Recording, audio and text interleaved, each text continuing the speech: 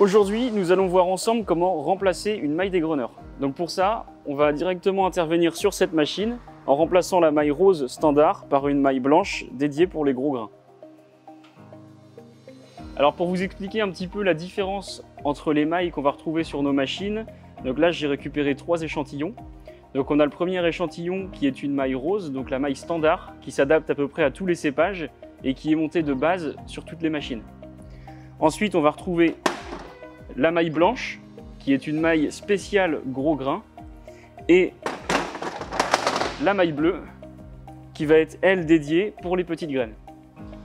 Dans un premier temps, on va venir retirer le carter bleu ici, qui se trouve du côté intérieur du caisson dégreneur. Pour ça, on va venir retirer cette vis ici qui se trouve en haut et on en a une autre en dessous.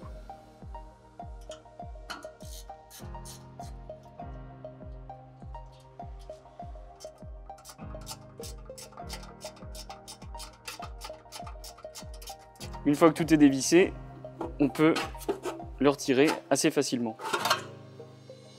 Pour gagner en visibilité, on peut aussi retirer la bavette bleue ici. Donc assez facilement, elle est maintenue par deux goupilles. Voilà. Pour la suite des opérations, il va falloir détendre complètement la maille de l'égreneur. Donc pour ça, on va venir desserrer les trois verrous qui se trouvent donc ici on en a deux à l'intérieur du caisson. Et on en a un troisième qui se trouve côté extérieur. Une fois que les trois verrous sont bien desserrés, on pousse l'arrière de la maille jusqu'à ce que ce soit complètement détendu. Il va falloir détendre la maille assez suffisamment pour qu'on puisse, comme on peut le voir ici, sortir la tige qui maintient les mailles reliées entre elles. Pour faire sortir la tige, il va donc falloir taper à cette extrémité pour que la tige sorte à l'autre bout.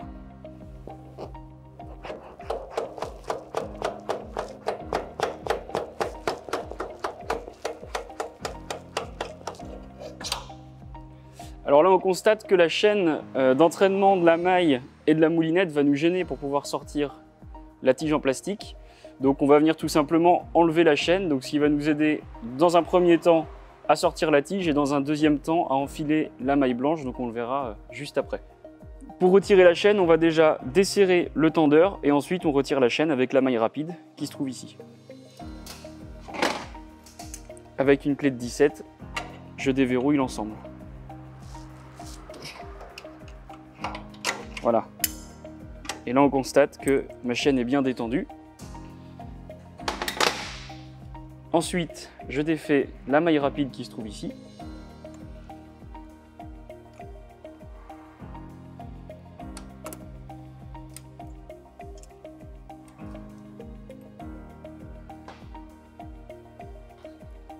Et je peux retirer ma chaîne. Une fois que ma chaîne est retirée, on voit bien que j'ai un peu plus d'espace pour pouvoir retirer la tige en plastique. Donc normalement, une fois que l'extrémité de la tige est sortie, elle n'est plus verrouillée, donc on peut l'enlever à la main. Donc une fois que la tige est retirée, je peux facilement ouvrir la maille en deux.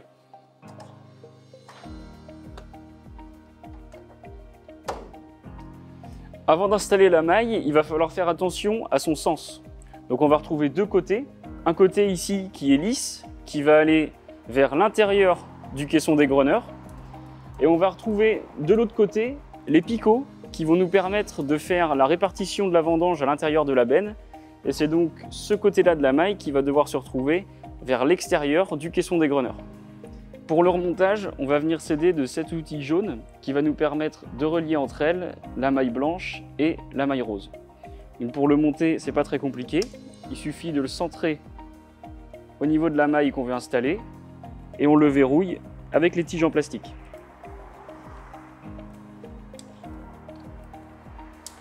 Je l'installe ensuite sur la maille rose qui est montée sur la machine en essayant d'aligner les deux mailles entre elles.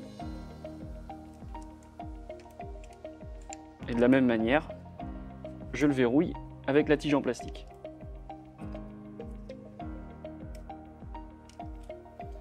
Donc maintenant que la maille blanche est accroché à la maille rose, je vais pouvoir tirer sur le brin supérieur pour pouvoir faire rentrer complètement la maille blanche dans le caisson dégreneur.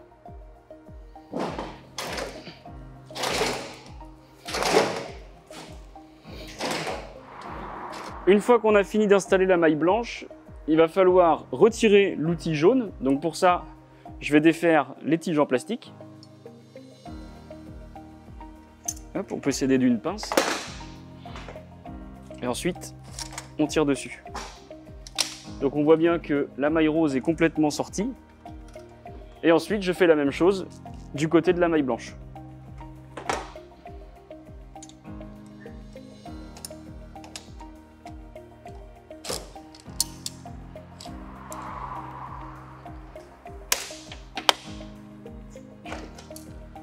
Une fois que l'outil est complètement retiré, je vais devoir faire tourner la maille pour pouvoir retomber en face du trou qui m'a permis euh, tout à l'heure de sortir la tige en plastique. Alors une fois que on est parfaitement aligné avec le trou ici, on va pouvoir reverrouiller l'ensemble de la maille avec la tige blanche. Donc on prend bien soin d'envoyer en premier le côté arrondi de la tige pour qu'on vienne ensuite verrouiller l'ensemble avec le côté plat.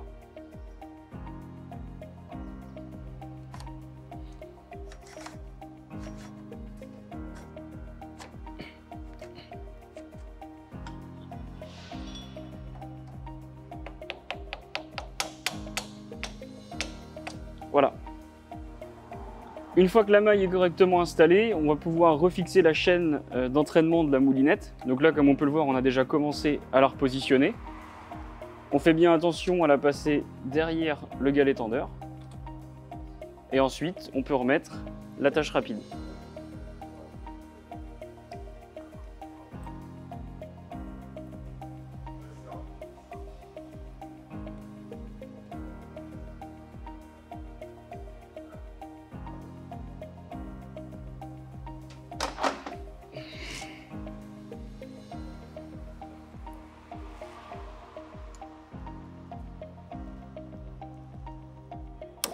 Quand la chaîne est bien en place et bien verrouillée, on la retend en ajustant la position du galet tendeur. Et on le resserre avec une clé de 17.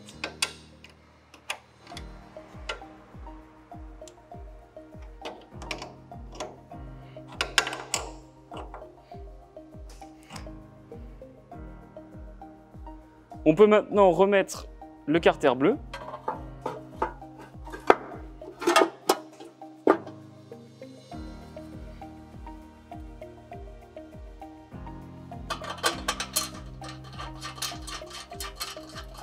On pense bien ensuite à resserrer les deux boulons, donc en haut et en bas.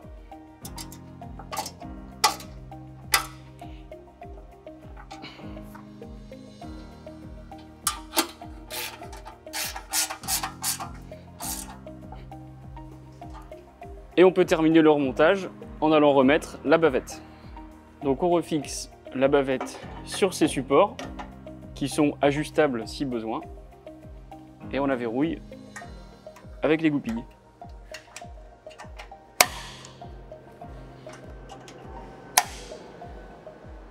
Une fois que tout est correctement remonté, il reste une dernière étape à faire qui est la tension de la maille.